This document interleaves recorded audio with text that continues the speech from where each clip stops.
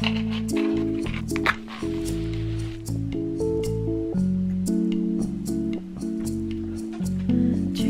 everyone, welcome to my channel or welcome back to my channel if you're a returning viewer or subscriber. In today's video I'm going to be filming my October TBR. Super exciting because I've absolutely stacked this video full of autumnal reads like spooky season, dark academia, thrillery, light horror books, which is really just, you know, what this month is for. So I'm thrilled to share with you my ridiculously overambitious TBR for the month.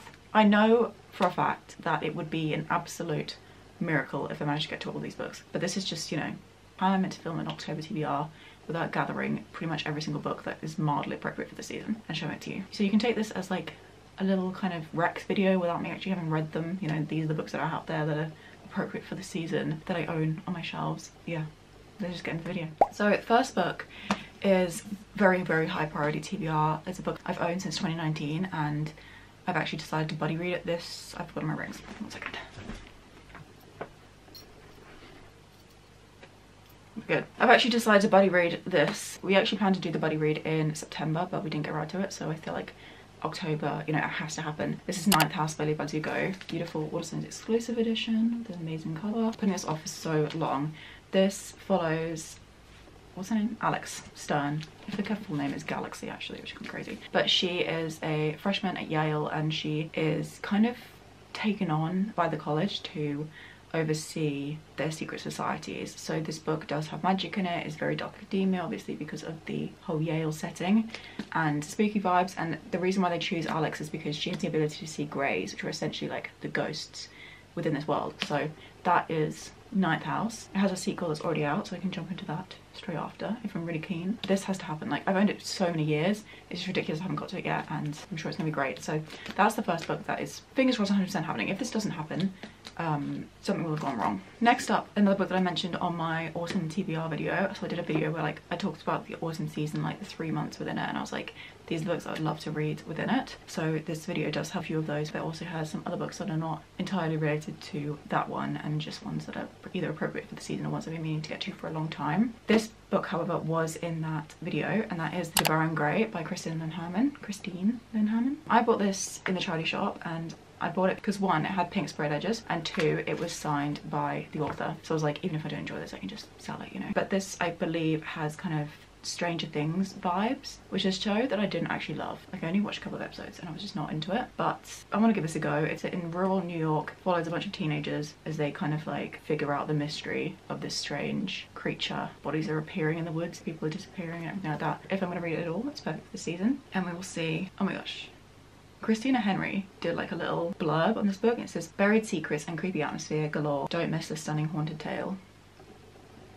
It's October in a book. I have If We Were Villains by M.L. Rio. Is a book that I wouldn't be mad if I didn't get to it till November, but I do want to read it within this season because again, I've had this on my TBR for a couple of years now. Maybe I bought it last year. I can't remember. Either way, I would really like to get to it, obviously, which is why I'm mentioning it here. This is another dark academia kind of book, which is very beloved within that kind of like community of readers. We're following Oliver Marks. He's just served 10 years for a murder he may or may not have committed. And I think we go back in time and we explore like what actually happened and try and figure out who actually did the murder or whether it was Oliver himself. This is just such a staple within this subgenre and I basically heard nothing but good things about it so I'm very excited for this one and I would love to get it to it in the October season to kind of like carry on with those kind of creepy dark academia vibes that September kind of marks the beginning of. The Last Place You Look is a straight up thriller. This is a book I don't know much about because I actually received this in a little kind of unboxing video that I did for a box of stories and they sent me like a bunch of mostly thriller books and this was one of them. This is the shortest thriller on my shelves. I thought it'd be good to kind of get a book off my TBR, see what I think.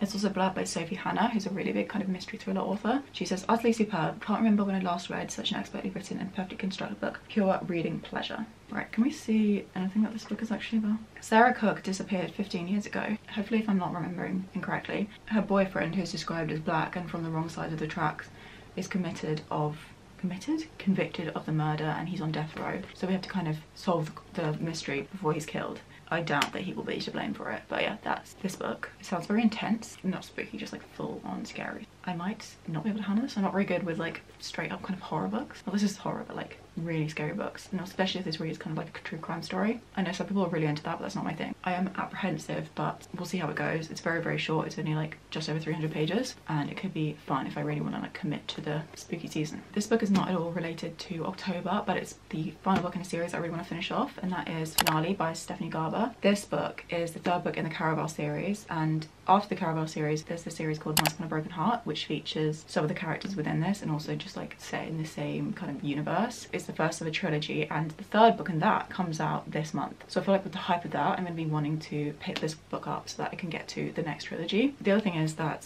this is a really stupid reason, but like it's orange and pumpkins, orange leaves, you know the vibe. The only thing is that these books take me a long time to get through and this is the longest in the series so I feel like this could eat out the majority of my month. But again, I wouldn't be mad if I started reading this in October and then I didn't finish it until November. But we'll see what we do. That's finale. Caraval follows two sisters as they get kind of caught up in this game. The whole idea of Caraval, which is like kind of carnival circus thing, is that you're meant to remember that it's only a game, but actually things kind of cross over into real life. There is actually a greater risk of being injured, whether that's kind of mentally or physically through the game. It's a YA fantasy series, very whimsical, magical, and I've had a lot of fun with it. I've given both the first two books four stars. Excited to see how I find this final book in the series. Maybe I will love it even more.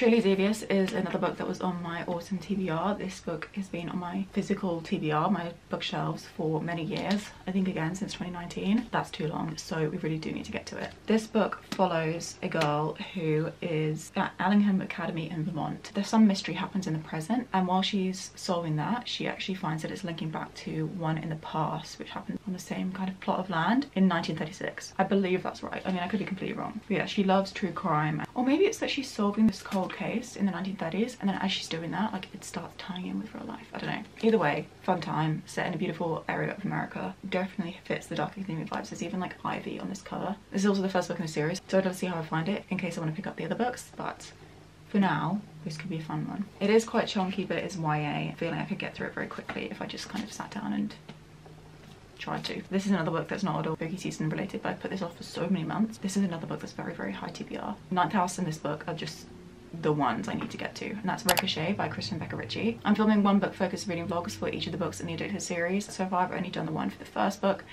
and this is the second book. So it has to happen. It's a contemporary romance book as well, so I feel like it might break up some of the books I'm gravitating towards, and it might just be like a light, quick read that I kind of put in between a couple of the big, thicker, heavier, like darker books. So this series follows Lily and Lo. They both struggle with addictions. They have different addictions from each other. Lily is addicted to sex and Lo is addicted to alcohol. They are in like a fake dating relationship in order to kind of enable each other but that crosses over into something more. It's about their kind of healing journey, so they're opening up to their friends and their family and things like that, but also about the relationship between the two of them. I believe this book focuses more on Lily, who is my preferred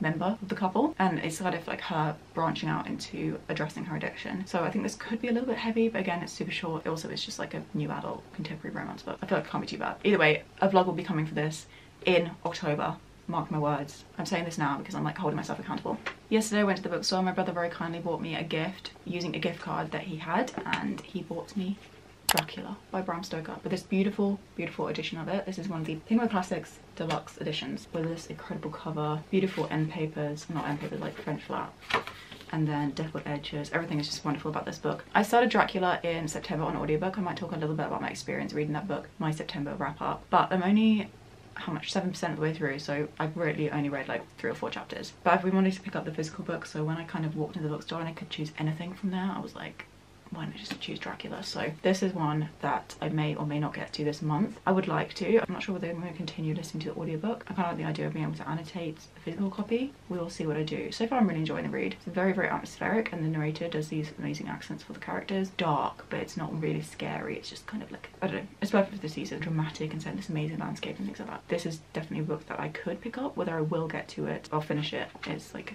a different thing. But yeah, that's a book that is potentially on my radar. And then the final book we have is the thickest one and the one that I am kind of the most apprehensive about whether I'll get to out of all these I've mentioned. And that is because a, it's just so big, and B, I just have to be in the right mood to read this, otherwise I feel like it's going to be an awful experience. And that is Midnight Sun by Stephenie Meyer. This is a book that was also on my autumn TBR, so I would love to get to it this season. I'm not fussed about whether I read this in October or November. I feel like November is like peak Twilight season for me, but again, this follows vampires because this is literally just the first book of Twilight, but from Edward's perspective, you know, it suits October, spooky season, Halloween, all vibes are perfect for that. But look at this guy, he's a brick. I don't know what to do. How many pages is this? Over 700. I'm tempted to like listen to the audiobook. I that could be fun. Should we do that? I don't know. I do want to get this off my TBR though because I feel like I can't read it really any other time of year except for that random moment in summer when I suddenly get re-obsessed with Twilight. But yeah, maybe I'll kind of watch the film to get myself in the vibe. This is purely like dependent on mood reading. We'll see if I get to it. I will keep you updated of course on all of these reads. So there you go, there you have it. Those are the one, two, three, wait, one, two, three, four, five, six, seven, why am I counting my fingers? I'm making this more confusing. One, two, three, four, five, six, seven, eight, nine books. Why is there no 10? Maybe nine's like a spookier number, I don't know, that I want to read in October. I also want to finish a couple of books I'm in the middle of. I'm in the middle of Cruel Beauty by Rosamund Hodge, Either Or by Elif Batuman, um, what else were you in the middle of? My Rock and Roll Friend by Tracey Thorn, Despair by Vladimir Nabokov. That's one I've put on pause, but I love it. I'm just like stopping myself from reading it because I'm filming for a video and I haven't filmed the clips yet. If I'm being sensible this month, I should read Ninth House, I should read Ricochet, and I should read Despair, and then the others can just like arrive after I've got through all those. But we'll see what I do. We'll see if I just kind of throw caution to the wind and pick up whatever the heck I want to. Thank you so much for watching this video. Thank you so much for being here. I really do appreciate you so much. I'll see you super soon for another video in a couple of days, which I think will be my September wrap up, I think. If not, it's another video that I am filming at the moment. It's a vlog style video that's in the works. That's very exciting. I'm having a lot of fun kind of making that and I think I'm going to go and film a clip for it after this video. If you enjoyed the video please make sure to give it a thumbs up because that's how I can tell that you did and I'll see you super soon but other than that I will leave you be. Catch up with you later. Bye bye.